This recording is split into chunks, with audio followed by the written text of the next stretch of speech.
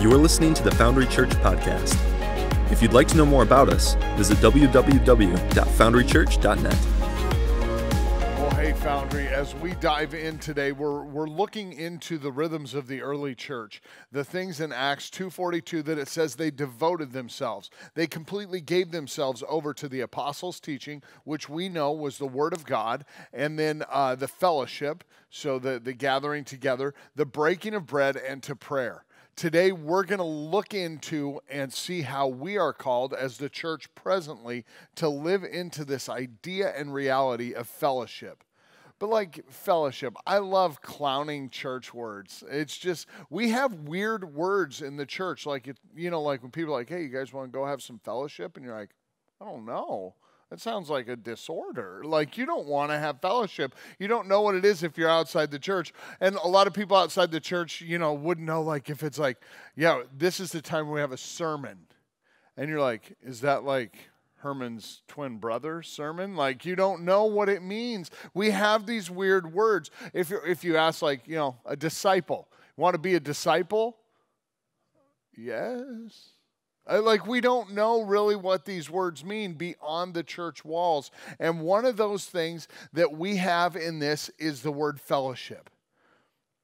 I know this that um, we at the Foundry have a bunch of rules we don't use. We, we work very hard not to call this uh, what we call the main space here on Main. Um, n- never refer to it as the sanctuary. Because outside of here, like people are like sanctuary. Isn't that like where wild animals kind of just hang out and they're safe, like an animal sanctuary? Like we don't really know. And today I'm going to use the word fellowship. Oh, just a ton. It's actually a word we've banned and uh, and we heckle staff. We'll boo them if someone's like, you know, yeah, we were just having fellowship. We're all like, boo, because you can't use words people don't understand beyond the walls of the church, and you can't use them here. But today we're going to take a minute and under understand within this place what fellowship means, what it means when it says they devoted themselves to the apostles' teaching and to the fellowship. Today we're going to really work on that word and hopefully transition it into its living context. The best way to do that today is to look at and read through the scripture. So today I'm going to invite you to join me. Acts chapter 4, verse 32 through Acts chapter 5, verse 11. It says this All the believers were in one heart and mind. No one claimed that any of their possessions was their own. But they shared everything they had, and with great power the apostles continued to testify to the resurrection of the Lord Jesus. And God's grace was so powerfully at work in them all that there were no needy people among them. From time to time, those who owned land or houses would sell them and brought the money from the sales and put it at the apostles' feet, and it was distributed to anyone who had need. Joseph, a Levite from Cyprus, whom the apostles called Barnabas, which means son of encouragement. Like, how's that for a big name? Hi, I'm Joseph, called Barnabas, which means son of encouragement. Nice to meet you. All right. Um, he sold a field that he owned, and he brought the money and he put it at the apostles' feet. Now, chapter 5 a man named Ananias, together with his wife Sapphira, also sold a piece of property. And they sold it with his, he sold it with his wife's full knowledge, and he kept back part of the money for himself. But the rest he brought and put at the apostles' feet. Sounds good, doesn't it?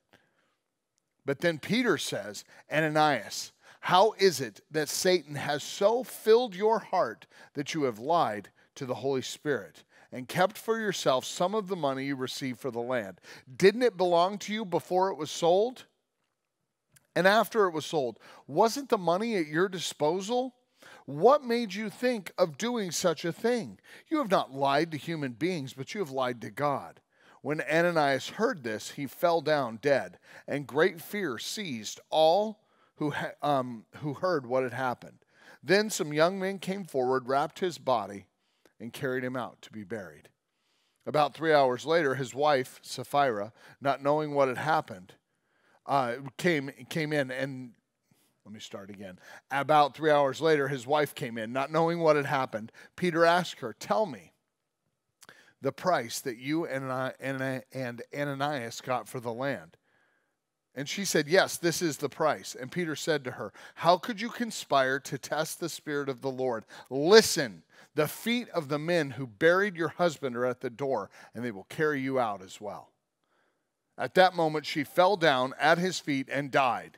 Then the young men came in, found her dead, and carried her out and buried her beside her husband.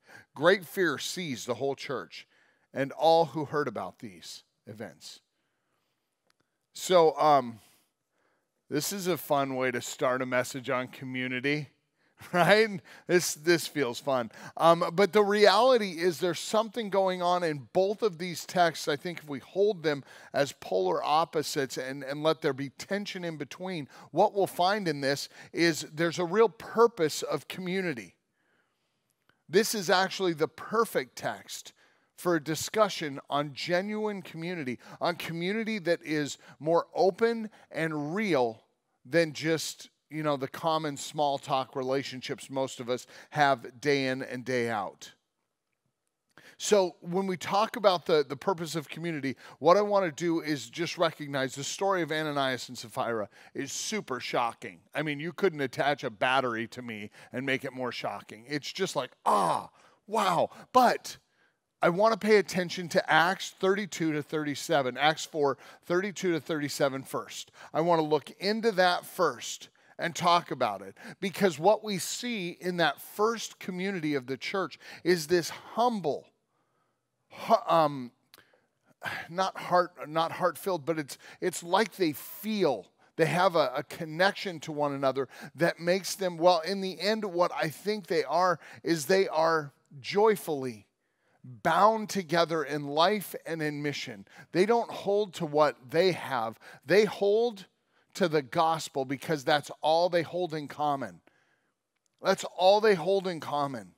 And the reality of this is their humble hearts and their love for one another shows that they are literally one body of people, one group of people that has many parts. The Apostle Paul talks about this in the book of Corinthians. In 1 Corinthians 12, verse 12 to 26, he talks about one body having many parts. And I think this is critical to understand the early church because when you see one body working together well, when it's working together well, it's, well, we pay a lot of money to go to sporting events, not to watch the unathletic perform, right? Nobody's there to see the guy next to you who weighs, you know, like 500 pounds eating nachos all day and screaming about how the quarterback can't do a thing or whatever, right? We're there to watch the athletes. When you when you watch tennis, which to me is one of the more nimble, those people are athletes.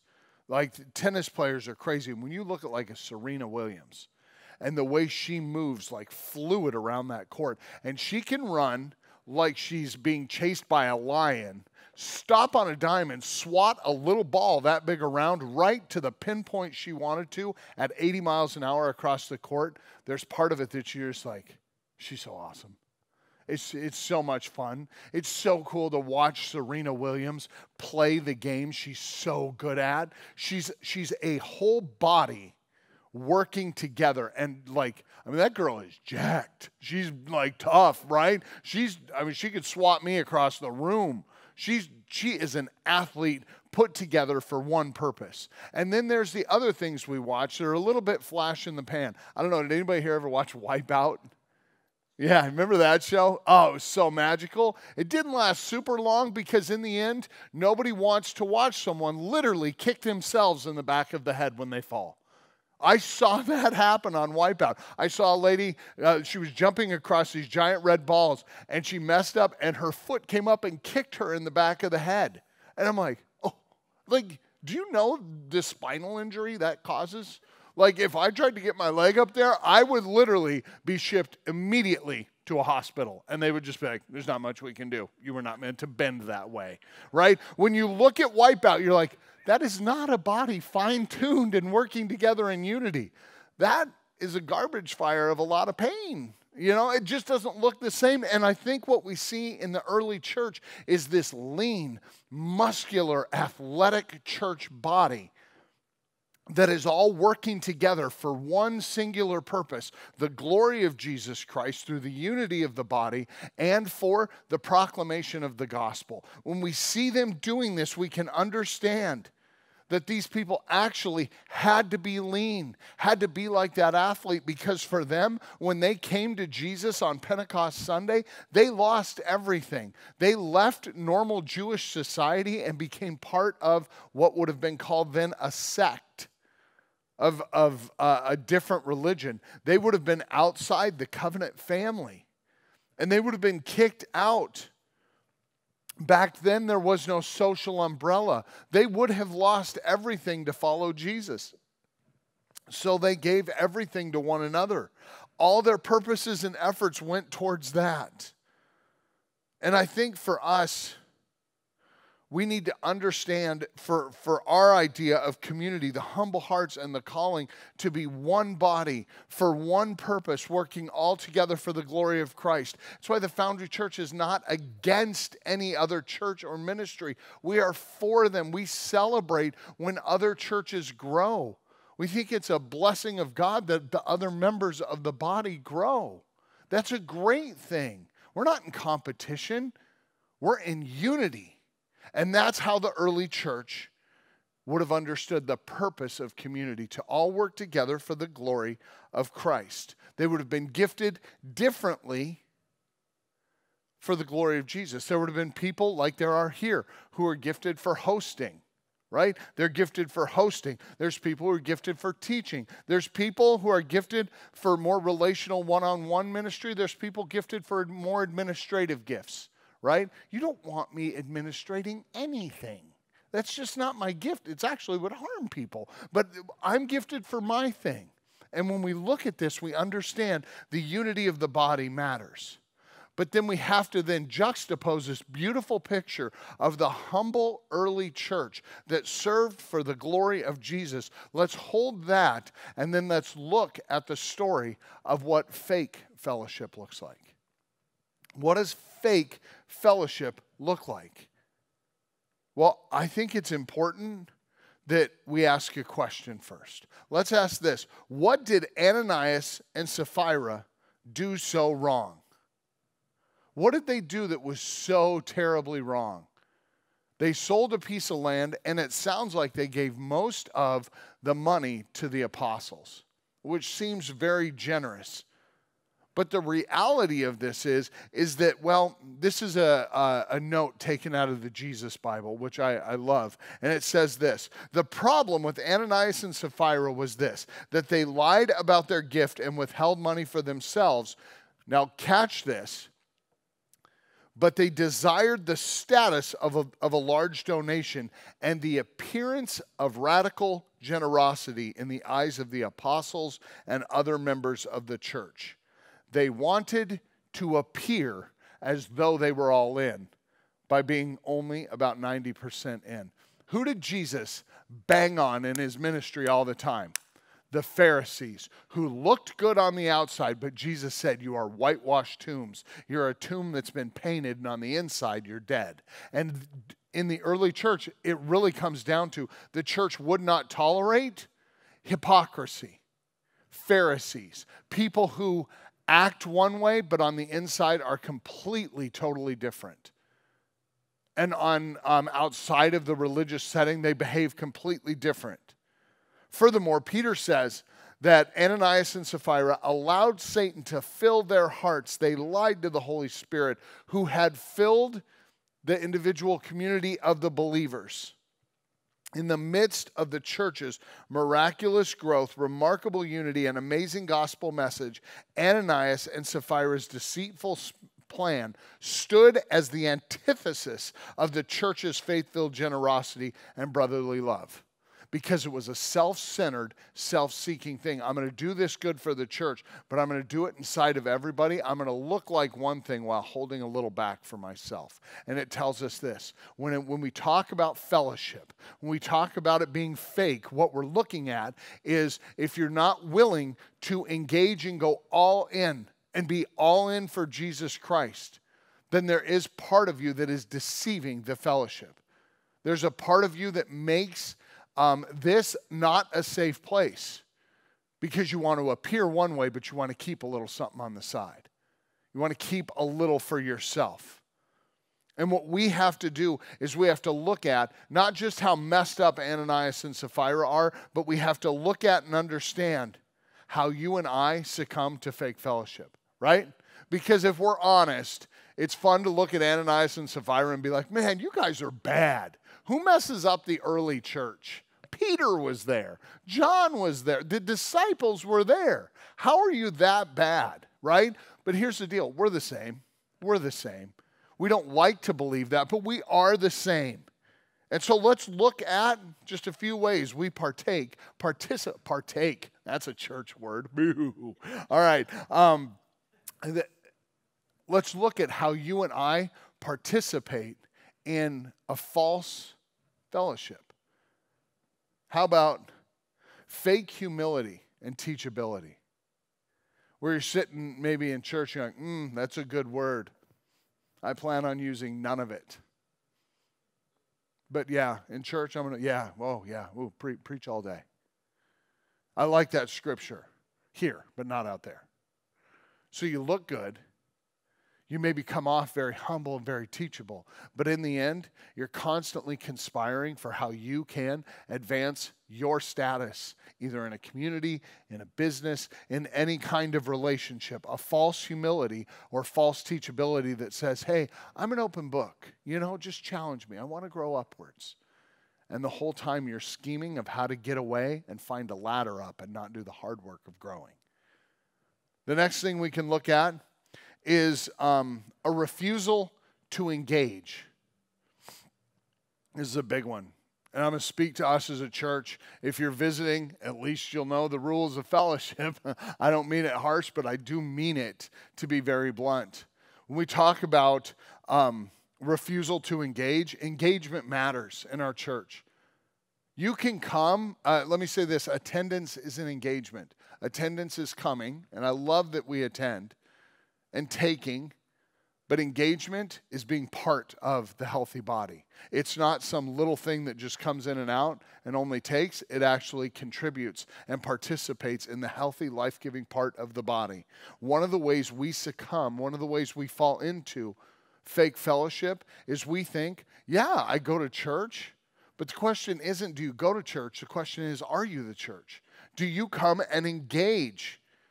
Do you give generously of yourself in your time, in your treasure, in your talents? This church needs to be generous with its time, giving for one another's benefit. For what? Not for me, not for the building, not for any of that, for the glory of Jesus Christ.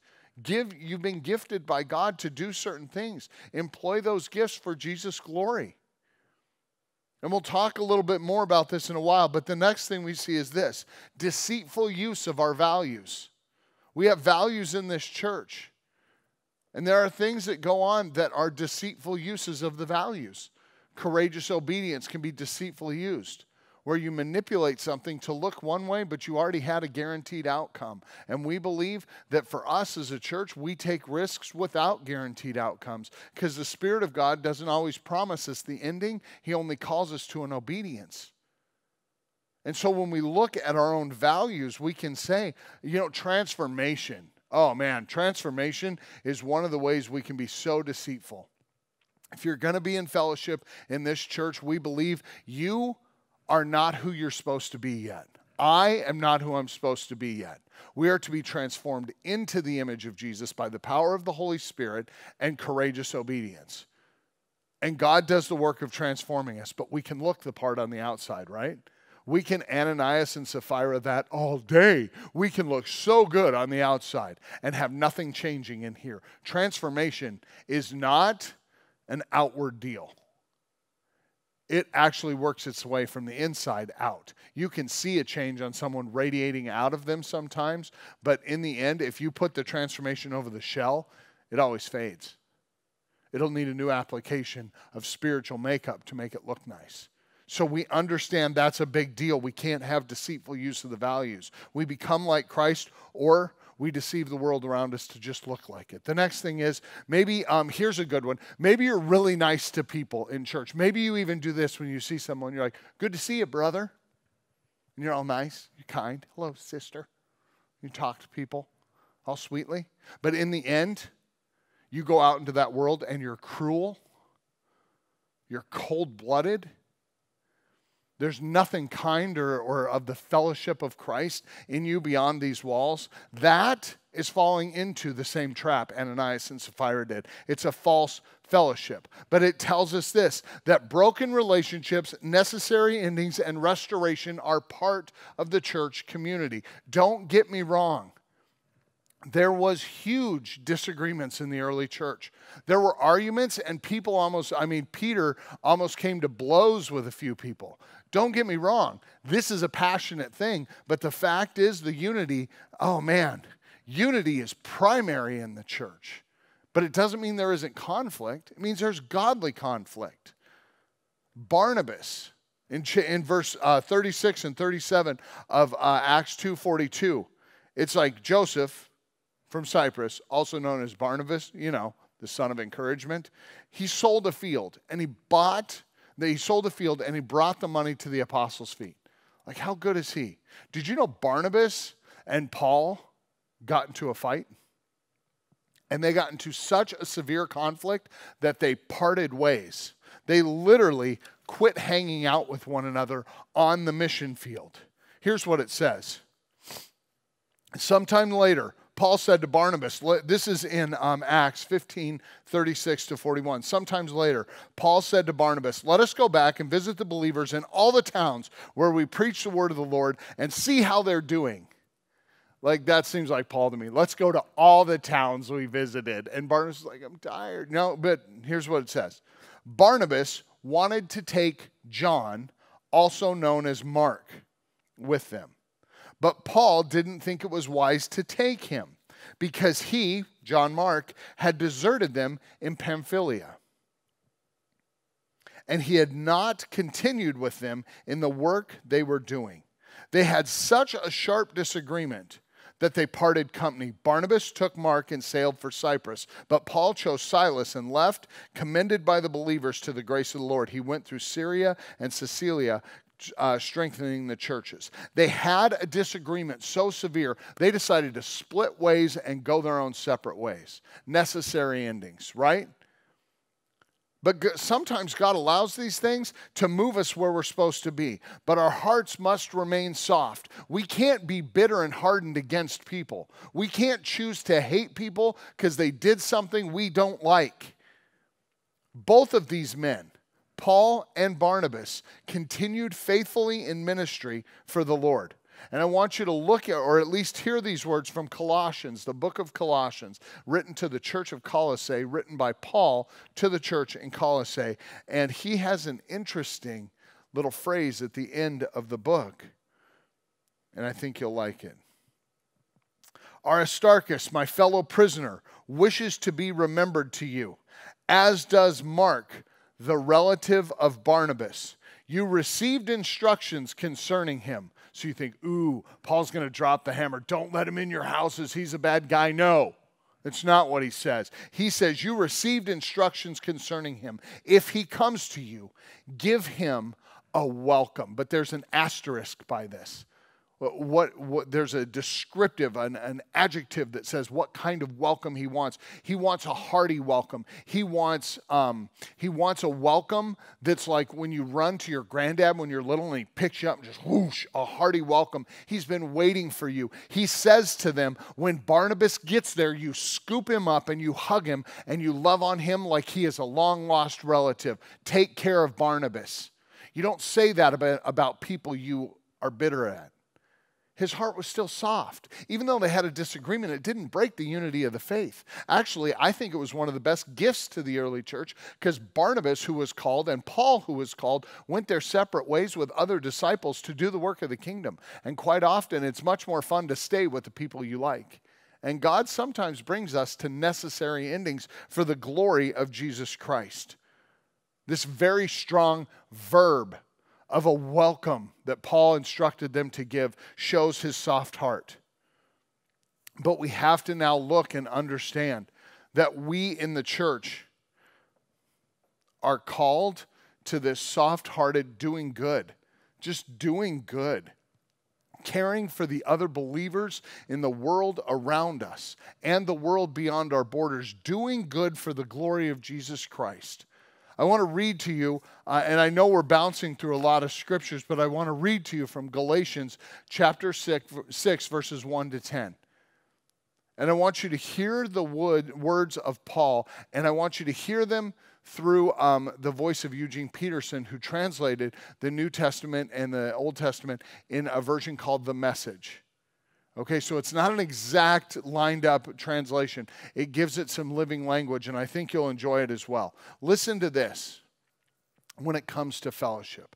Live creatively, friends. I like that right out of the gates. Live creatively. Don't do the same thing all the time. Live creatively, friends. If someone falls into sin, forgivingly restore him, saving your critical comments for yourself.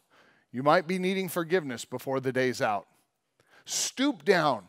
Reach out to those who are oppressed. Share their burdens and so complete Christ's law. If you think you're too good for that, you are badly deceived. Make a careful exploration of who you are and the work you have been given, and then sink yourself into that. Do you catch that? Share one another's burdens, but also be aware of your work and do it. What does that tell you? This isn't an individual effort. It says, share one another's burdens, but don't forget you're accountable for the work you're called to. Get to work, but do it together. This isn't an isolated thing. I, I just love that. All right. Don't compare yourself with others. Each of you must take responsibility for doing the creative best you can with your own life. Be very sure now. You who have been trained to a self sufficient maturity, that you enter into a generous, common life with those who have trained you, sharing all the good things that you have and experience. Don't be misled. No one makes a fool of God. In, in my translation in my head is, um, don't be deceived. God will not be mocked. If you remember that translation, that's what this is. Don't be misled. No one makes a fool of God. What a person plants, he will harvest. It's spring in Michigan right now. And farmers are worried that they can't plant because it's just rain, everything's wet and soft. You got to get the harvest in the ground long before it grows. You plant for a harvest, and that's what he says. That's what he, what he talks about is the person who plants selfishness, ignoring the needs of others, ignoring God, harvests a crop of weeds.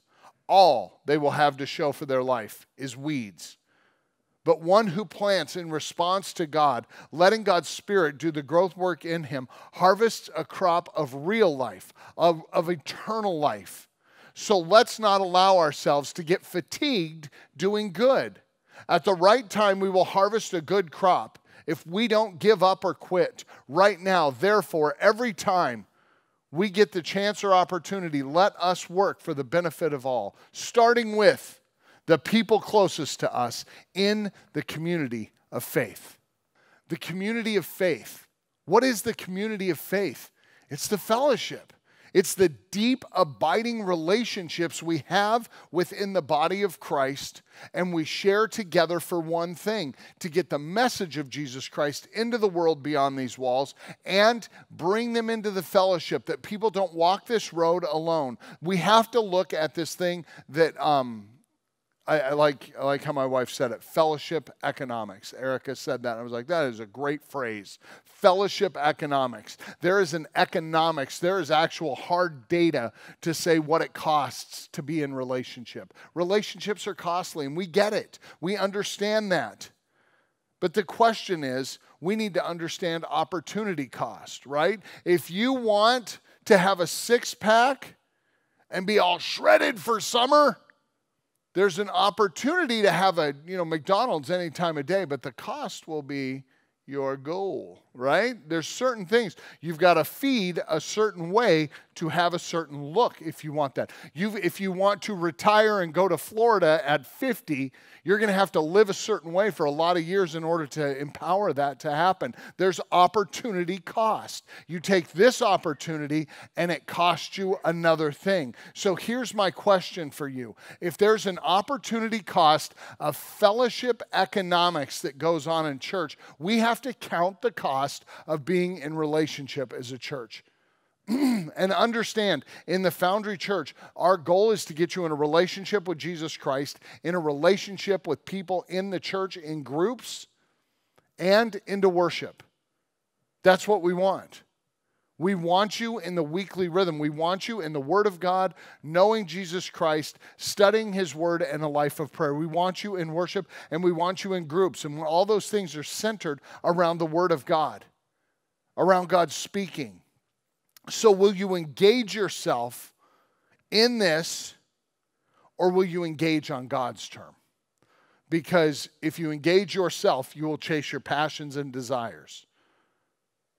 But if you engage on God's term, terms, you will count the cost and you will find a way to leave certain things behind to, to share in the fellowship, the unity, the relationships that God offered us in the early church right up to the present day.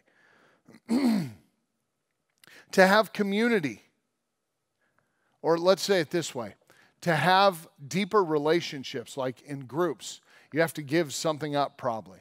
If you're going to be in a group, you might have to bail on your Tuesday night bowling league to be in a Tuesday night group. Opportunity cost. If you want to grow in the fellowship, it may cost you something else you do, or it may cost you just not being in front of the TV one night that week. I don't know what the cost is for you. I can just tell you this. If you want to have community, fellowship, a deepening of relationships, you're probably going to have to give up something on a night that you maybe didn't want to on a day where maybe you're like, oh, I'd rather just go home.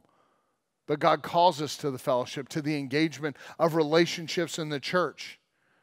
So you have to count the cost and say, Am I willing to do that on that night?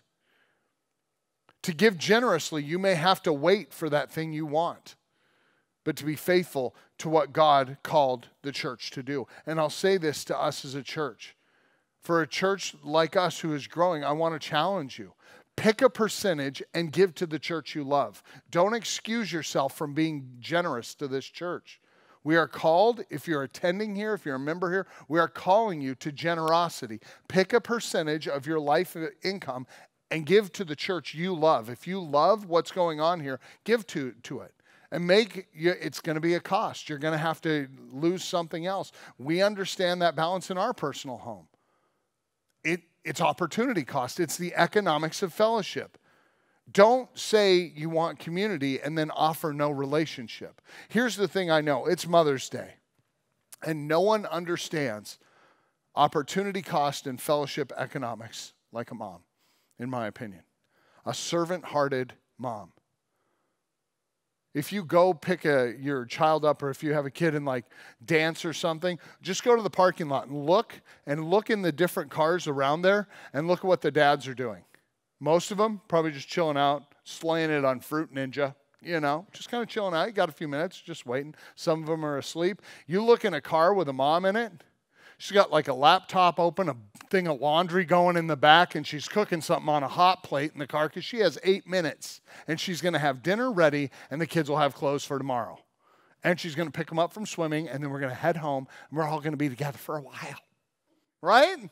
Moms understand opportunity cost. They make the most of it. And I'm not saying dads don't, but I think moms need to be loved and revered for their willingness to surrender so much of themselves for so much of us. They teach us opportunity cost. Right? Maybe, maybe I know a lot of moms who get invited out to go do something and they say no because they know they've been busy with other things and they want to be at home with their kids that night or they want to be at home with their spouse, or maybe they just need a night away to be in the Word of God because they've been running too hard. And they look at it and they're like, no, I'm not going to ignore and push things to the side. I'm going to put in the middle what is in the middle my relationships. I see moms do this all the time. They trade an easy night out with a tougher night at home for the investment in relationship. They multitask to all of our benefits. I was talking to a mom the other day who was sitting at a track meet with the window down, her laptop open. She's working while listening, and when it's like final call for like long jump, close it, run into the thing, watch her kid jump. They come over, good job, honey. They go out to talk to their friends and ignore her in the middle of the field. Rude. But they do that. She goes back to the car, tunes her ear in, waiting for, I don't know, the 200. Final call for the 200, closes the laptop, walks back in, watches the race, congratulate them, congratulates them at the end of their race, and says, All right, I'm going to head home. They go home, get dinner ready. So that when the kid comes home, he's like, Oh, I've had such a long day. And they don't go, Really? Have you? Have you? They're like, Oh, I know you did good. And they give and give and give. Fellowship, it's not about you, it's about what you give, it's about relationship. I invite you. I invite you to be a church that understands that sometimes a messy house is okay because you chose relationship over cleaning. I would rather have a messy church. Please don't hear that, Pam. But I would rather have a messy church than to have a really clean church with no one in it. Relationship is messy, fellowship is messy, but I'll tell you this somehow, the one defining trait of the church is this love one another as I have loved you. That's what Jesus said. And in fellowship, we are given the rich opportunity to do so. Pray with me. Lord Jesus Christ, we love you and we thank you for who you are. And we ask that you would bless us with your presence, with your spirit, and that you would guard us and keep us. Lord, forgive us for the times where we believe that we don't need relationship and deepening connection. And call us upwards into yourself that we may be tender, soft, and responsive to you. God, help us to love one another as you have loved us. Help us to have unity as a primary by getting ourselves out of the middle and putting you right in the dead center of it all. May you be at the center of all things, receiving the praise and the glory of your church. In Jesus' name, amen. Thanks for listening to the Foundry Church podcast. If you'd like to know more about us, visit www.foundrychurch.net.